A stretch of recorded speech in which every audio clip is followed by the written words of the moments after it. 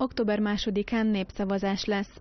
Ezt megelőzően a rendezvényházban előbb a helyi Fidesz hívott össze lakossági fórumot a témával kapcsolatban, melyen Semjén Zsolt miniszterelnök helyettes volt a vendég.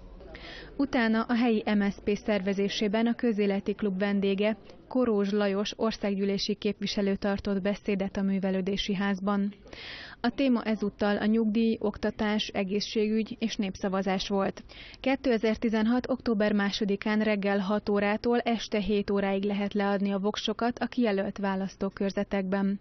A témával kapcsolatban minden információt megtalálnak a Nemzeti Választóiroda honlapján.